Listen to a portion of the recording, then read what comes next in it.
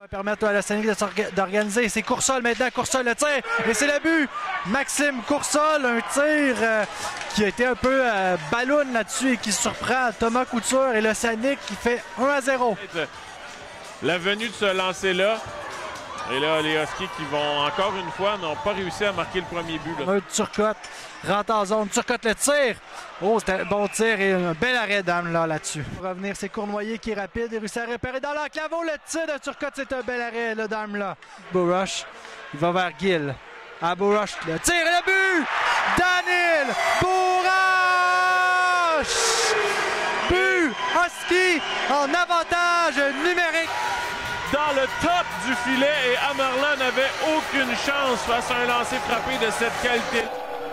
Final Fontaine, dans la cape, alors le tir, l'arrêt d'Amerla là-dessus, quel arrêt! Du côté de Zenon, Zenon s'échappe. Le tir, le but, Bill Zenon! Quel but de notre attaquant de 16 ans!